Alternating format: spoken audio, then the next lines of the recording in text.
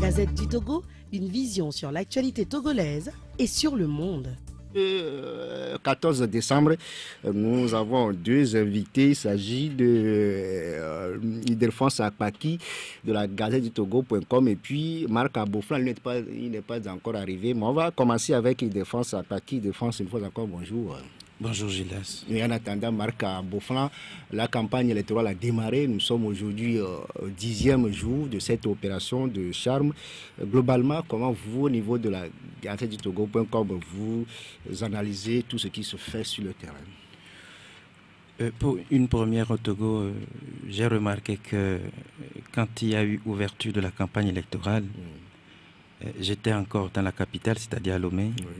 Et vous parler de 10 jours ou bien de 11 jours bon, Ça a commencé le 4 euh, décembre. Aujourd'hui, nous sommes le 10. J'avoue que l'ambiance qui règne d'habitude au cours des campagnes électorales, ce n'est pas la même. Bon, du, 4 aujourd'hui, le 14, bon, ça fait 10 jours de. Même si on peut dire que, bon, pour le 4, euh, les candidats n'étaient pas quand même sur le terrain, mais bon, si on compte du 4 au 14 aujourd'hui, ça fait 10 jours.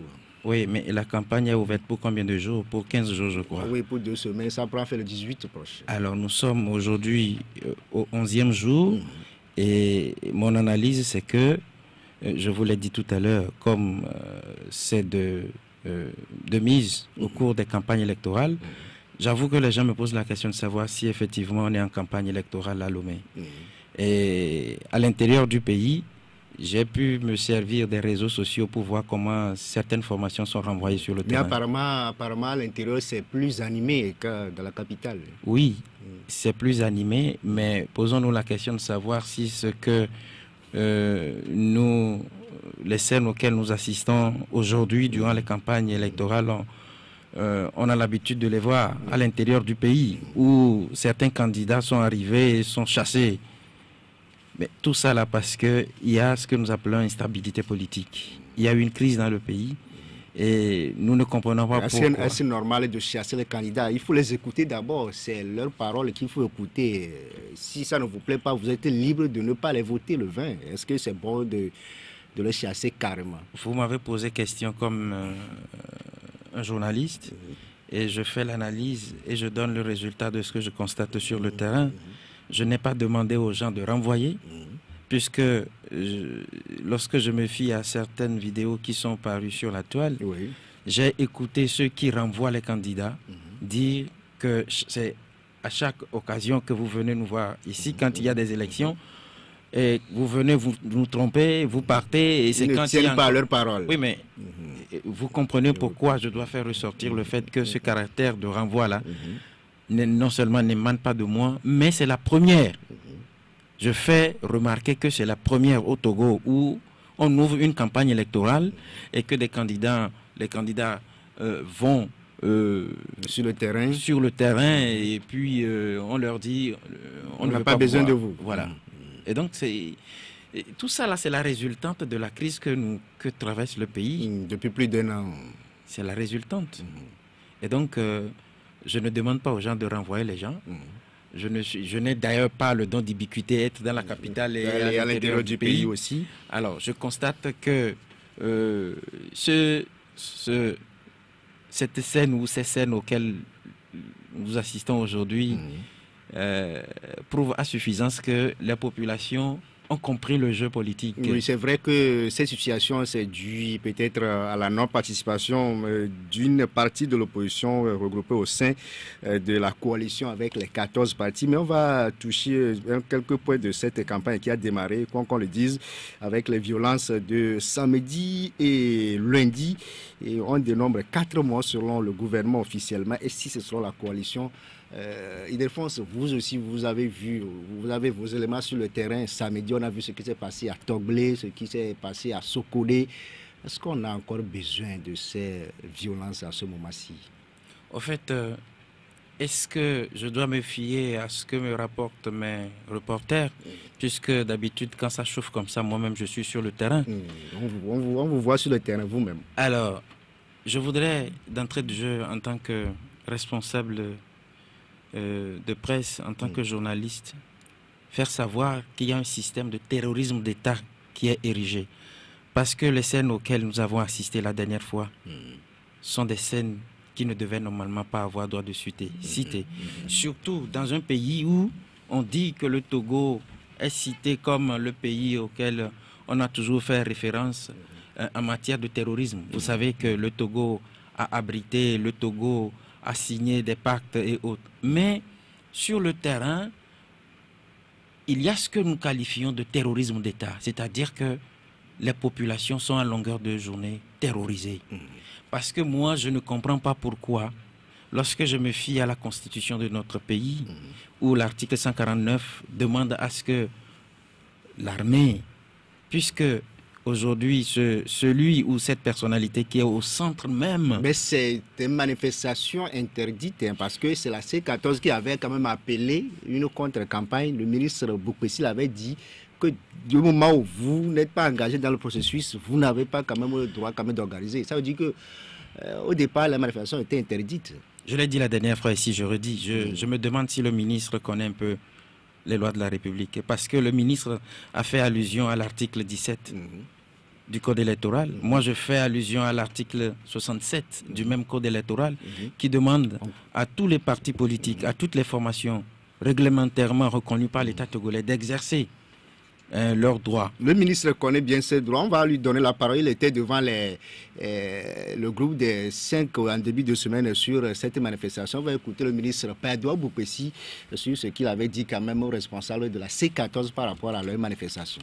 Je disais clairement à la coalition qu'elle ne pourrait pas faire cette, faire cette manifestation. Pourquoi? Parce qu'elle a dit clairement qu'elle veut empêcher le scrutin. C'est différent de je suis contre le scrutin. C'est deux attitudes différentes. À partir de ce moment-là, les lois togolaises, il y a deux lois dans le cas d'espèce. Il y a d'abord la loi sur les manifestations, qui n'est pas abrogée pendant la campagne. Euh, les gens disent, euh, c'est comme si pendant la campagne, aucune autre loi ne doit être appliquée. Non, c'est des histoires. Et cette loi sur les manifestations, en son article 16, dit clairement que s'il y a des troubles à l'ordre public, il faut interdire la manifestation. C'est très clair. À part de mots, la coalition dit qu'elle veut empêcher la tenue des élections. Et elle veut manifester dans la ville pour cela, dans les différentes villes, où se tiennent légalement la campagne électorale. Nous disons qu'il y a un risque de trouble à l'ordre public parce que l'article 70 du Code électoral dit que pendant la campagne, les partis politiques et autres peuvent aller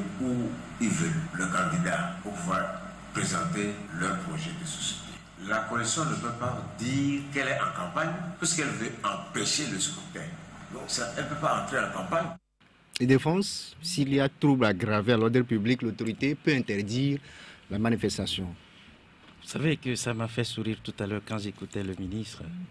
Et quand j'écoute d'ailleurs certains ministres togolais, ils me font sourire. Est-ce que ça veut dire que euh, lorsque la C14 dit qu'elle veut manifester, l'État doit prendre ses responsabilités? En prenant ses responsabilités, l'État parce que la C14 avait dit sur le ministre qu'il va tout faire selon les, va utiliser les moyens légaux pour empêcher le scrutin. Je suis d'accord. Je, suis d'accord. Je suis d'accord avec le ministre, mais le ministre veut-il nous dire que parce que la C14 dit qu'elle veut empêcher la tenue normale, elle veut, elle n'a pas encore commencé. Mais elle a, elle a nourri l'ambition. Elle, a, affiché ses ambitions d'empêcher le scrutin. Si le fait même de nourrir une ambition peut donner droit au tir, c'est-à-dire que on a entendu que la C14 veut empêcher et on a dépêché l'armée pour aller assassiner les manifestants. C'est pour, encadrer les manifestations. Et qui est-ce qui a tiré sur les gens? C'est comme ça l'encadrement. Lorsqu'on déploie la l'artillerie rouge, lourde, c'est-à-dire qu'on fait sortir des blindés, des, des pick-up, sur lesquels on met des armes de destruction massive et qu'on tire. Comme qu'on voit même des officiers qui, normalement, selon le statut de l'armée, ne devaient pas être sur le terrain, qui sont là et qui tirent. C'est ça la protection. Lorsque les gens nous jusque là, jusque là, jusque là, on n'a pas dit que l'officier a tiré. C'est vrai qu'on a dit qu'il était sur le terrain, mais est-ce que euh, il a tiré? Aujourd'hui, il était sur le terrain. Là, vous voulez. Il a reconnu, Non, mais mais Gildas, dire vous voulez- qu'il a tiré, pour le moment, on ne peut pas la- l'affirmer officiellement. Tout d'abord, je n'ai cité le nom de personne. J'ai dit, j'ai remarqué qu'un officier qui normalement ne devait pas être sur le terrain était là. Oui. Et aujourd'hui- vérifier le dispositif euh, mis en place. J'ai fait allusion tout à l'heure au statut de l'armée qui ne demande pas ou qui n'autorise pas cet officier-là d'être sur le terrain. Mais maintenant, vous voulez jouer à l'avocat du diable en défendant l'indéfendable parce que le fait de nourrir l'ambition, cela ne veut pas dire que ce que j'ai dit, je l'ai déjà traduit dans les faits. J'ai nourri. Et lorsque j'ai eu l'idée, la réponse a, été musclée, c'est-à-dire que mes militants ont été fauchés. Ce qui me fait mal, c'est cet état de terrorisme d'État qui est érigé au Togo. Vous savez, si aujourd'hui nous ne condamnons pas, nous n'arrivons pas à, dénoncer cet état de choses, toi et moi, nous serons dans ce studio, les gens vont débarquer pour nous assassiner. Je vous assure que c'est ça. Parce que c'est surprenant que l'armée qui a reçu pour mission de protéger et de défendre les populations contre toute attaque étrangère, c'est cette armée-là qui se met à tirer sur des gens au menu.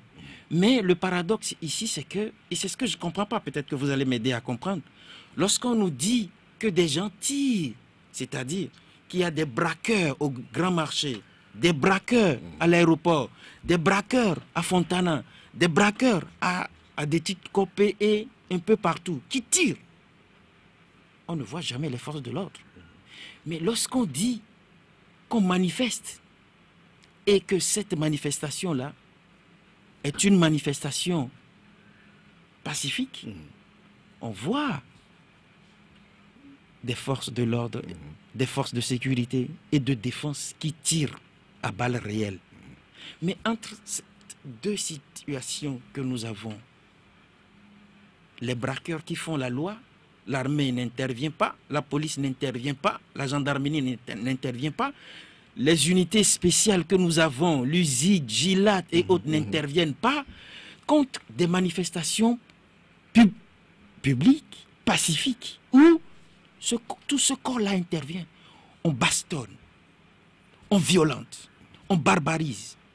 Et malheureusement, on tire à balles réelles sur de pauvres citoyens.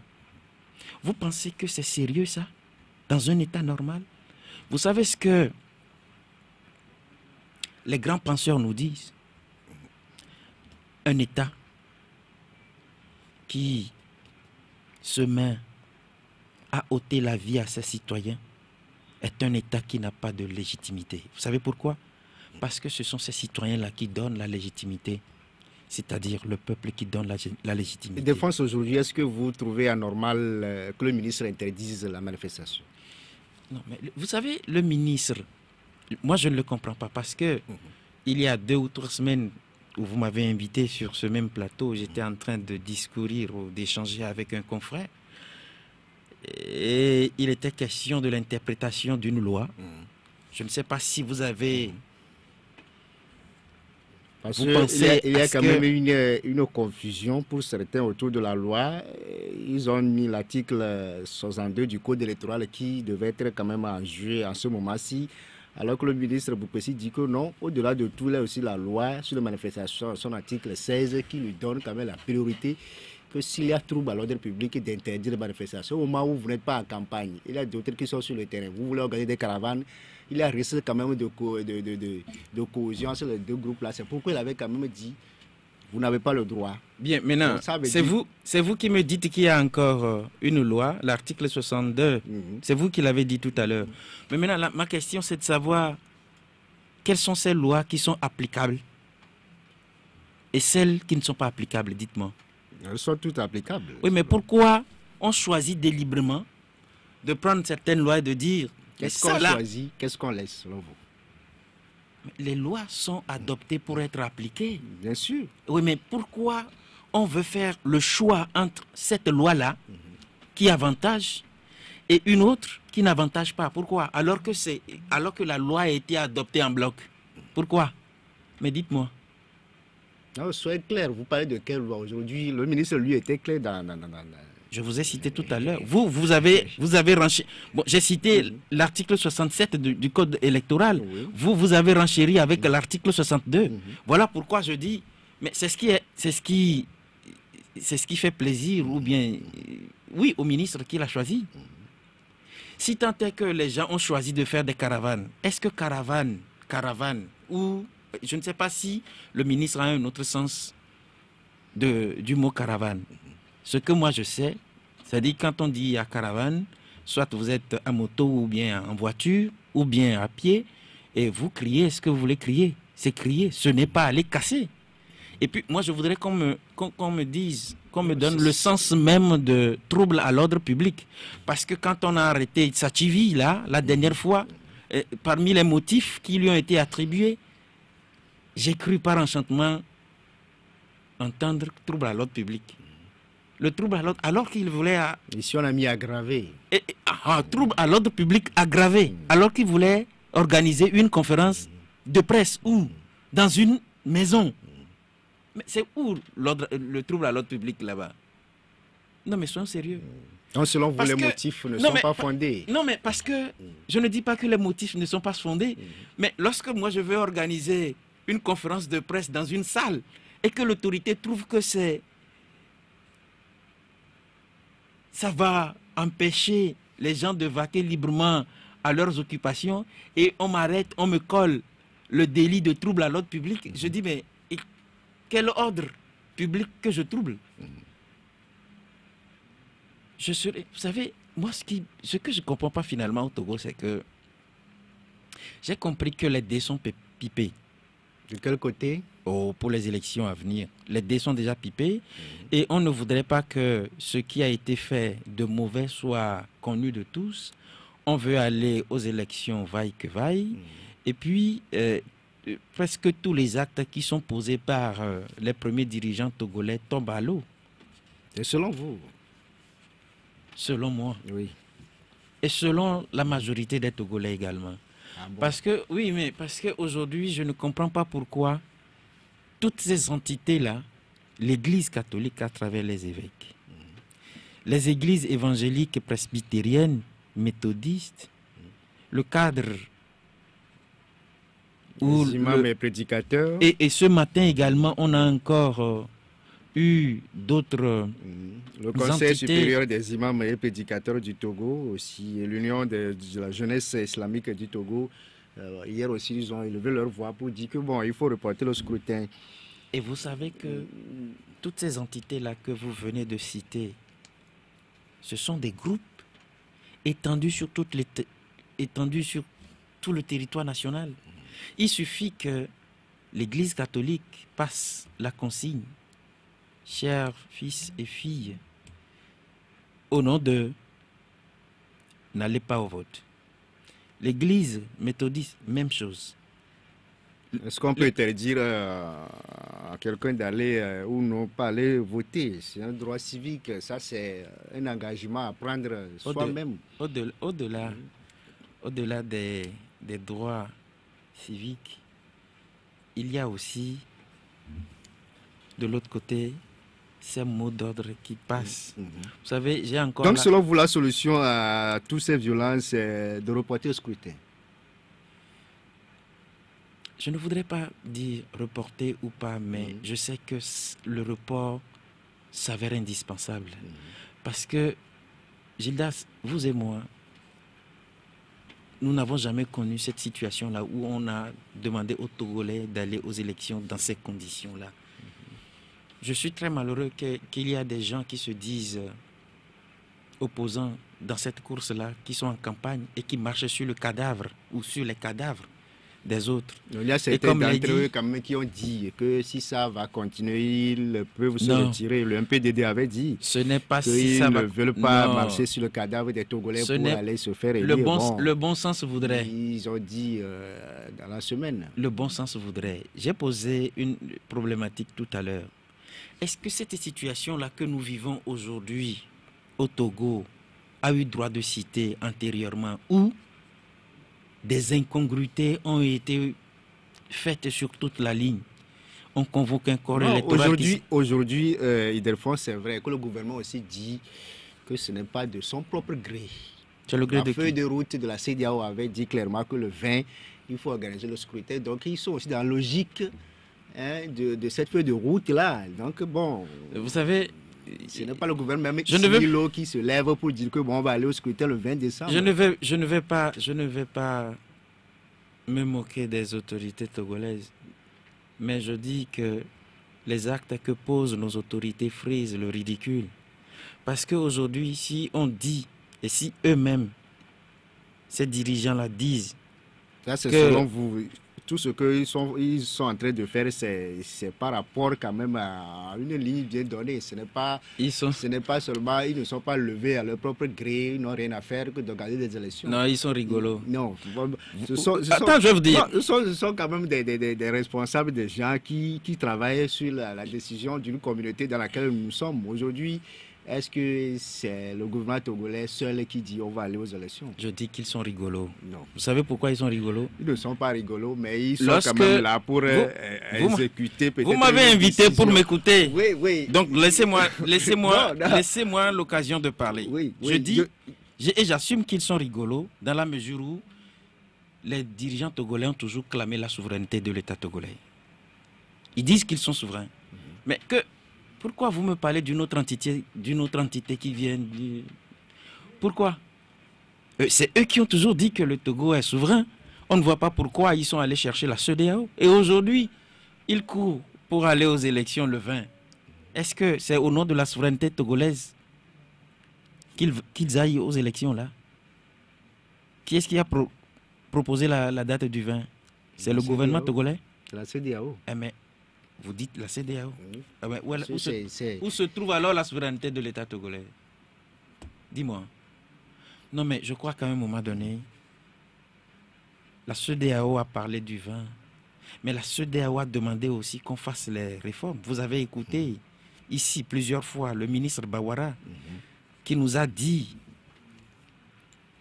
qu'ils feront les élections avant le 20 décembre. les, les réformes. Les réformes plutôt Oui. avant le 20. Oui, C'est l'Assemblée, c'est à l'Assemblée que tout est bloqué. Ils ont déjà envoyé leur test et celui de, de la CDAO. Qu'est-ce que la CEDEAO a dit dans son dernier communiqué à travers le comité de suivi? De prendre en compte quoi?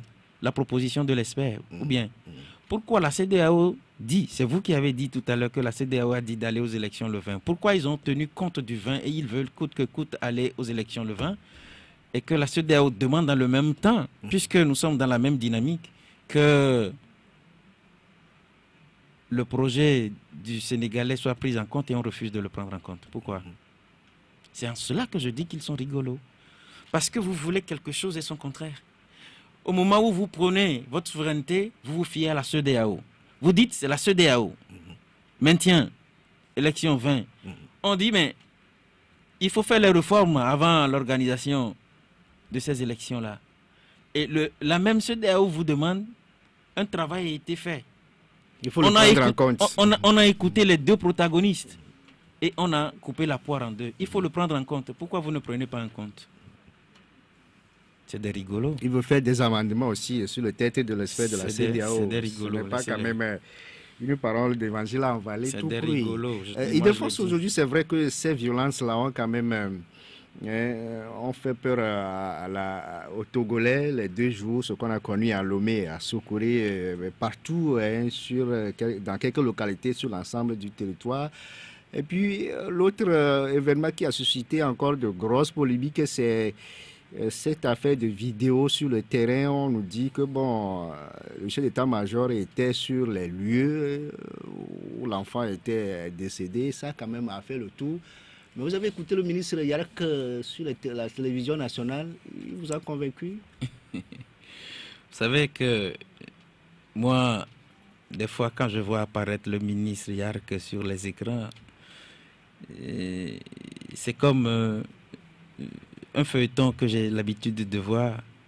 C'est-à-dire que euh, je me rappelle un film Charlie Chaplin, tu vas rire, fatigué. Non. Il est en charge de la sécurité. Je n'ai à pas ce un- moment, c'est vrai, au niveau, il avait un communiqué, mais le, ils ont jugé que le communiqué était insuffisant. Il est venu, il a apporté quand même des éléments de réponse euh, sur la présence ou non du chef d'état-major sur les lieux. Qu'est-ce que vous avez pu retenir de ce qu'il a Je dit? n'ai pas encore dit que ce que le ministre a fait est mauvais. Mais dire que tout ce qui est venu, euh, qui- quand vous le voyez sur les écrans, ça vous fait rire, c'est euh, c'est aller trop quand même. Je vais vous rappeler un fait. Il y avait dans ce pays un citoyen, un jeune, qui a été assassiné à Mango. Il y avait un autre qui avait été assassiné à Dapaon. Et là, je m'incline encore devant la mémoire Vous de tous parler ces... d'outils euh, Alors, j'ai eu l'occasion d'écouter le ministre quand il a été interpellé par les députés. Et j'ai vu le grade du ministre, c'est-à-dire grand officier, qui expliquait les circonstances de décès de notre compatriote, cet adolescent-là. Et j'ai été ahuri, éberlué, d'écouter le ministre dire que c'est lorsqu'on a tiré et que la balle revenait que la balle a touché l'enfant au fond. Vous savez, j'avais dit à l'époque sur une chaîne que le ministre a défié les lois de la physique. Parce que quand moi j'ai appris la physique, on m'a dit, lorsque vous lancez Un une corps pierre, qui est lancé en haut, euh, sa chute est toujours faible. et donc le ministre, depuis ce moment-là, Vous ne croyez plus à tout ce qu'il dit. mais j'ai dit qu'il a défié les lois de la physique. Ça veut dire qu'il est rigolo. Parce que vous ne pouvez pas, se fondant sur les cours de la science, dire que le ministre a raison. Il y avait ce fait. Il y avait un autre fait. Et là, c'est lorsqu'il donne, au terme des manifestations, Le, le bilan, chiffre. le bilan journalier. Oui. Et aujourd'hui, on nous parle d'un officier supérieur qui a apparu au cours d'une manifestation. Je parie mille contre un que si vous fouillez très bien dans les textes qui régissent presque toutes les armées au monde, c'est vous qui avez dit tout à l'heure que c'est le chef de, de l'état-major. Vous allez vous rendre compte que il n'est pas permis au chef de l'état-major de sortir, même lorsqu'il y a une guerre, parce que c'est lui qui doit tout coordonner. Je ne sais pas si vous avez eu l'occasion de voir les films américains. Lorsqu'il y a la guerre, vous allez voir les généraux qui sont casés quelque part, qui font les plans d'attaque. Mais si le chef de l'état-major se permet de se mettre sur le terrain, aujourd'hui, Non, parce que selon le ministre Yark, euh, il a dit que d'habitude, pour vérifier si les dispositifs mis en place sont quand même euh, opérationnels, il fait souvent ces sorties-là pour contrôler juste Moi, je- euh, ce qui se moi, je- passe sur le terrain. je vais vous dire une chose que j'ai toujours dite. Le ministre de la Sécurité est obligé des fois de couvrir certaines erreurs de ses supérieurs. Il est obligé. J'ai donné des exemples ici la dernière fois, je donne. Lorsque le ministre de la Sécurité n'est pas au courant de ce que les gendarmes font quelque chose quelque part, il n'est pas au courant de ce que certaines villes sont assiégées parce que quand on l'appelle des fois, il dit il n'est pas au courant. Alors, vous devez comprendre que il y a certaines choses qui l'échappent. Il doit se rattraper. Il est obligé de mentir. Et des fois, il lui arrive comme ça de mentir parce que il ne peut rien. Il doit assumer. Il y a ça. C'est vous qui pensez qu'il ment. le premier communiqué faisait, euh, faisait état de, de quoi? On nous avait dit que l'officier dont vous avez donné le nom n'était pas là qu'il était en Centrafrique. Il a été... Il a été... Est-ce que c'est le communiqué ou bien c'est les rumeurs euh, qu'il avait dit qu'il était en voyage? Tout com- Parce que tout, le tout compte, communiqué avait quand même euh, déploré ce qui s'est passé? Tout mais compte- ce sont les, les rumeurs qui ont dit que bon, Tout le compte chef fait. serait en Non. voyage. tout compte fait. Le gouvernement n'a pas dit que le chef d'État Tout, était en tout voyage. compte fait. Si c'est parce que j'ai dit que le ministre de la Sécurité est obligé de mentir des fois, c'est qu'il y a eu des actes posés. J'ai donné tout à l'heure les exemples des manifestations. Et puis moi, chaque fois, je suis interpellé des fois, quand je prends une caméra au cours des manifestations, les gens viennent te faire... Il faut bien filmer hein, pour qu'ils voient que le ministre ne vienne pas dire. C'est des choses auxquelles nous assistons. Et bizarrement, vous-même, lorsque vous êtes, vous, venez couvrir les manifestations et le soir, vous vous amusez à voir ce que la TVT va dire via le ministre. Des fois, vous êtes éberlué. Vous allez vous... Il y, a bon, il y a bon nombre de choses. Il y, a, des exemples que je peux citer. Mais dans la hiérarchie militaire... Là, c'est normal. Nous ne sommes pas appelés à dire euh, la même chose. Peut-être que, bon, est-ce que c'est parce que ce que vous avez montré, la TVT ne l'a pas fait? Donc ça veut dire que bon, ce qu'ils ont fait n'est pas juste. Je ne parle pas de la TVT. bon, vous dites que bon, c'est que. Pour la plupart, pour la plupart du temps, mm. le ministre fait le bilan. Et ce bilan-là, mm. nous avons tous l'habitude de le voir sur la TVT. C'est pourquoi je parle de TVT.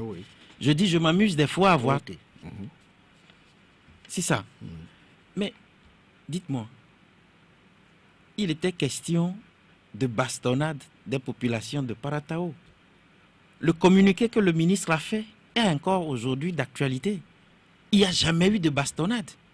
Mais lorsque Nana Akufo-Addo a demandé qu'une commission aille sur les lieux pour vérifier pour voir ce qui se passe, qu'est-ce qui a été, mhm. qu'est-ce qui a été dit? C'était le contraire de ce que. Est-il mal renseigné par ses agents, le ministre Quand j'ai dit tout à l'heure qu'il était obligé de mentir, vous, vous m'avez dit, vous avez fait vous avez hoché la tête, vous avez souri, vous avez vu derrière la vitre, je ne sais pas qui vous fait le Mais vous me posez la question de savoir s'il est mal renseigné. Je ne sais pas comment le, service de renseignement marche au Togo, fonctionne au Togo, mais je sais que il ne devait pas normalement avoir un seul carnaval, un seul canal. Le Pour avoir les informations. Le ministre doit avoir des canaux pour avoir des informations. Confirmées et infirmées et voir qui envoyer sur le terrain pour vérifier les choses avant de parler. Vous pensez que si nous, on se mettait à donner des informations comme ça, on serait encore là, vous serez là à nous inviter? Je suis sûr qu'on allait nous changer déjà de, Au-delà de tout, c'est vrai que la situation a été expliquée quand même. Euh, euh, au groupe de cinq là, en début de semaine. hier aussi, c'est les ambassadeurs africains accrédités qui ont eu quand même à rencontrer le gouvernement sur ce qui s'est passé. Euh, et fond, c'est vrai que hum, le groupe de cinq euh, aussi composé des ambassades d'Allemagne, États-Unis, France, coordination des Nations Unies, et puis l'Union européenne aussi déplore ce qui se passe euh, au Togo et ils ont quand même euh, dit qu'il est nécessaire de préserver un climat de paix, d'éviter euh, toute forme de violence et appeler les acteurs à la retenue. comment vous entrevoyez, bien comment vous analysez la, position de ce groupe de cinq là dans la situation actuelle du Togo? Certains, certains, quand même ont fait vite de leur jeter des pierres est-ce que vous aussi vous pensez que bon, ils ne font pas ce qu'ils devaient faire? Ce sont des hypocrites. En quel terme Mais je dis ce sont des hypocrites parce qu'ils usent de l'hypocrisie. Parce que s'ils vivent effectivement au Togo, ils se rendent compte que d'ailleurs, les diplomates sont amenés à connaître au moins la majorité des lois qui régissent un État, l'État dans lequel ils sont venus exercer leur euh, fonction d'ambassadeur.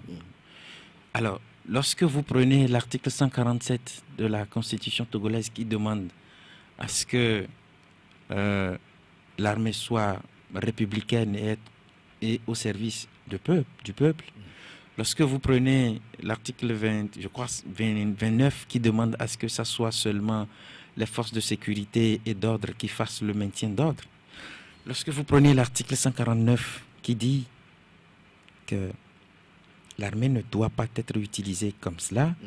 et que il faut que l'Assemblée nationale se prononce avant. Donc c'est à eux de faire euh, cette pédagogie-là pour Je suis en train de faire une, euh, une démonstration. Lorsqu'il n'y a pas invasion, il n'y a pas attaque terroriste, mm. et qu'on trouve l'armée dans les rues, alors que l'armée, c'est dans les casernes, on se pose la question de savoir qu'est-ce qui se passe? Et nos diplomates doivent avoir à l'idée l'essentiel des lois et textes est se poser la question de savoir pourquoi l'autorité a-t-elle accepté qu'il y ait manifestation? C'est-à-dire que cette manifestation a caractère pacifique. Si elle était une manifestation brutale ou une manifestation, on n'allait pas l'autoriser. Mais à partir du moment où on autorise une manifestation pacifique et qu'on sorte encore l'armée, on se pose la question de savoir si les marches, les marcheurs sont des envahisseurs. Des envahisseurs. Parce que c'est ce que nous, nous remarquons aujourd'hui. J'ai comme l'impression que le peuple est devenu un envahisseur et que l'armée doit chaque fois tirer. Que demandez-vous euh, au groupe des cinq concrètement Mais dans ce genre de situation? Il ne faut pas qu'ils soient hypocrites. Moi, j'ai dit tout à l'heure qu'ils sont des hypocrites. Parce qu'ils savent ce qui se passe très bien. Depuis le Vous 15 êtes sûr février. qu'ils ne se prononcent pas? Peut-être que ce sont des discussions diplomatiques. Peut-être que vous n'êtes pas au courant. Est-ce que si dire Lorsque- qu'ils sont hypocrites, c'est- Lorsque les, oui. di- le- lorsque les diplomates disent que le climat qui gagne aujourd'hui, c'est-à-dire il y a deux semaines, malgré qu'il y avait, des- il y avait une tension dans le pays, ils disent que le climat est propice pour que les élections tiennent et qu'ils soutiennent le gouvernement, vous pensez que c'est sérieux ça? Ils sont revenus dire qu'il faut préserver la paix et puis d'éviter toute forme de violence. Ils vous appellent à la retenue. Donc pas- ça veut dire que Oui. ils sont conscients que De le ce- climat est délétère. Ce climat-là était toujours délétère depuis août 2017. Aujourd'hui, ça s'est corsé parce que c'est leur hypocrisie qui a fait que, un, la feuille de route n'a pas été respectée par le gouvernement togolais.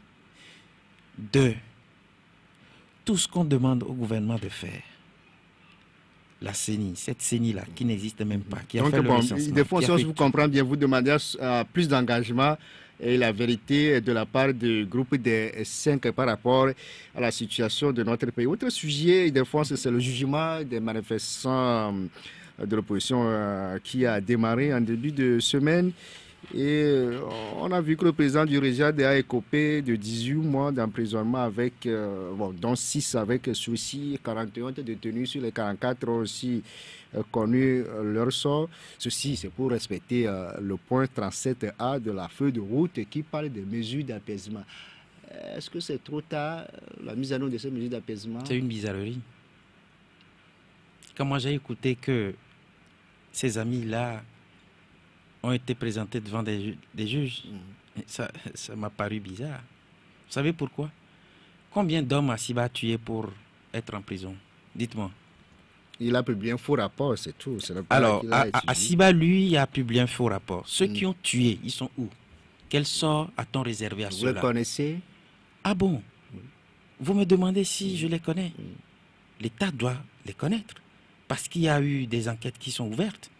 Si jusqu'aujourd'hui l'État ne situe pas les faut, il responsables. faut attendre, Non, il faut là, attendre la pas- fin des, il faut non, attendre la là, je ne serai des pas- enquêtes Non, d'abord. je ne serai pas d'accord avec vous. Si que- aujourd'hui on vous demande des, des forces à Paki, ceux-là qui ont tué, on vous prend la main, il faut nous les, les doigter, vous pouvez les faire?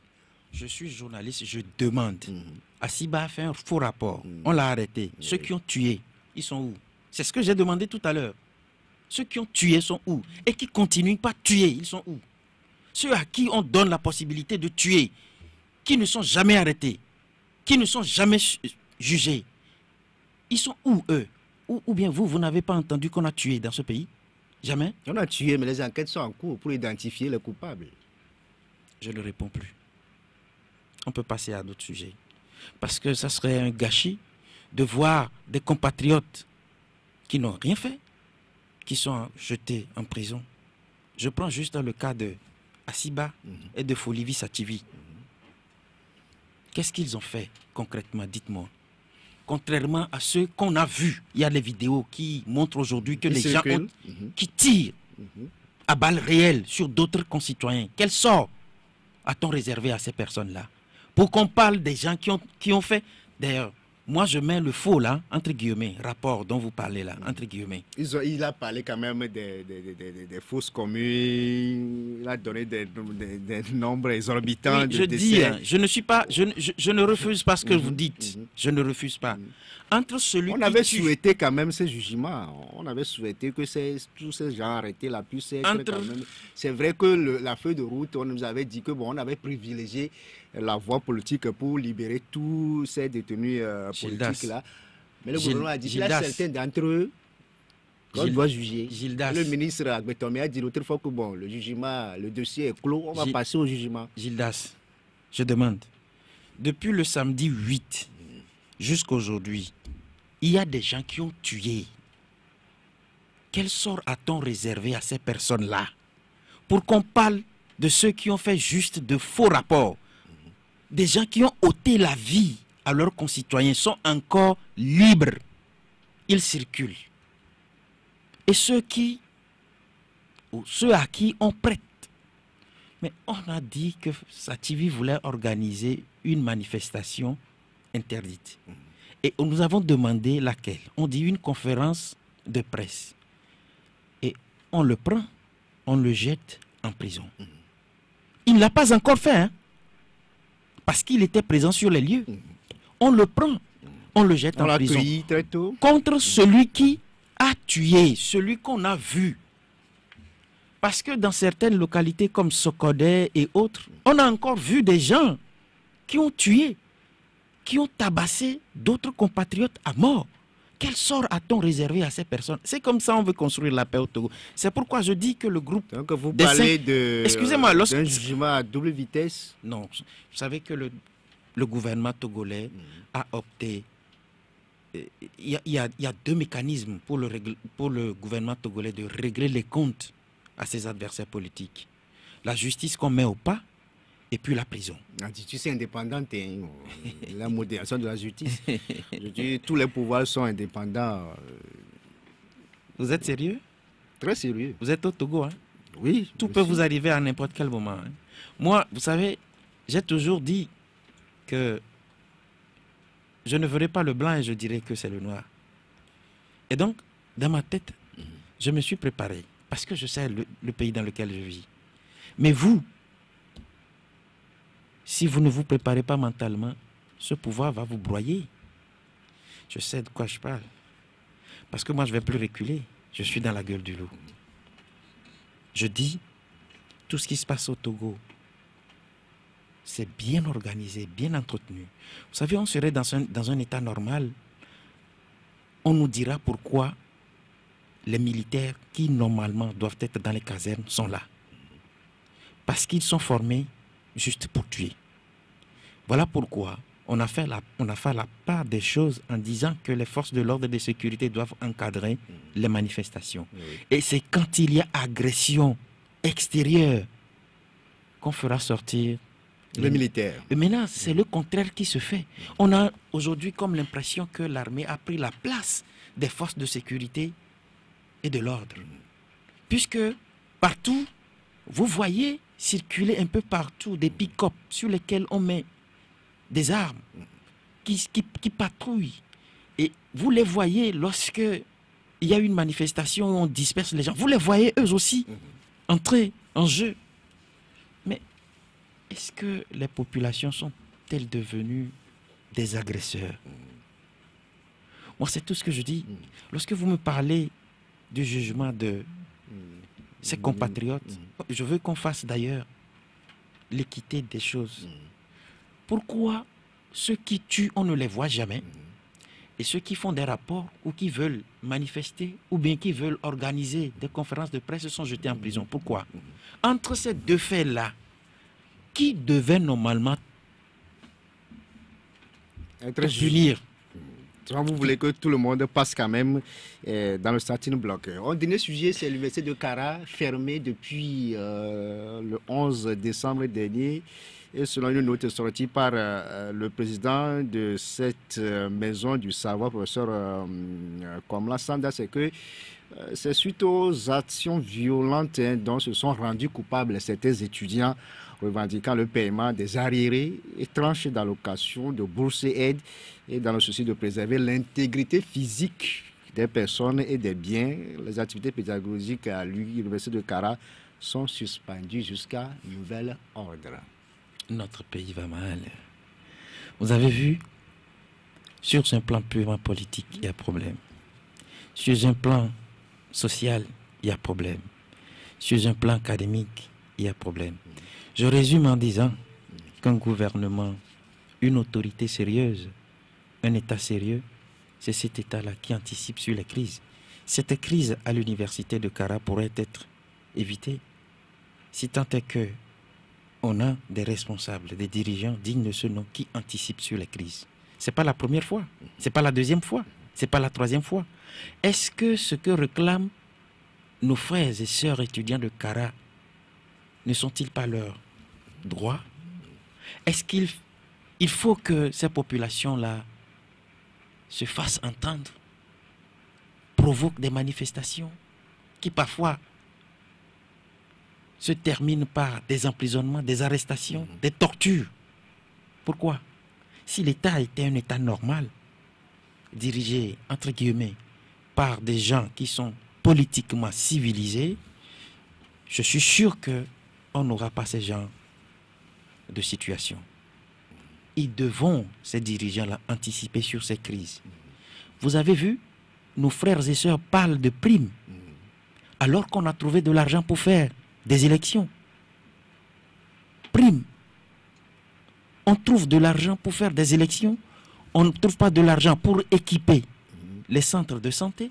Et puis, la plus belle aberration, c'est que nos centres de santé sont dépourvus, sont dégarnis de matériel. Pour la contractualisation, on a préféré réaménager une morgue. C'est le non-sens. Ça, ça, ne va pas. Ça n'a pas de sens. Il faut se faire soigner. Donc il faut quand même anticiper ces événements à l'université de Cara. Euh, c'est aussi un appel que vous lancez hein, pour euh, Lomé aussi, parce que la même situation euh, se répète parfois à l'université de Lomé aussi. On veut aller aux élections d'abord. Si vous voulez mourir, il faut mourir. C'est ça leur slogan. Non. Vous avez trouvé de l'argent pour faire les élections, vous ne trouvez pas de l'argent pour payer les aides et autres Ildefonse Sakpaki, nous sommes arrivés à la fin de cette émission. Malheureusement, euh, un dernier mot pour partir Non, je suis de ceux qui croient que.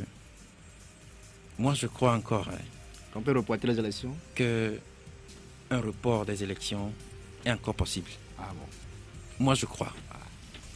Merci beaucoup à vous, Idelphonse Akpaki. Vous êtes euh, le responsable de la Gazette du Togo.com. C'est un site où vous devez être avec Marc Aboflan de l'IT d'Afrique.com. Il n'a pas pu faire le déplacement de notre studio. Merci quand même à Kodio TV pour la mise en onde. Merci à tous ceux-là qui nous ont suivis. Bon week-end à toutes et à tous. Euh, juste après moi, allez suivre l'émission Fou de foot avec Innocent Gléonou et toute son équipe. Euh, bon week-end à vous tous. La Gazette du Togo, une vision sur l'actualité togolaise et sur le monde.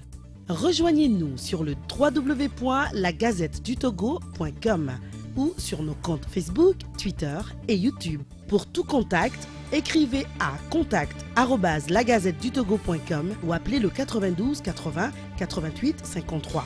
La Gazette du Togo, c'est l'information en continu.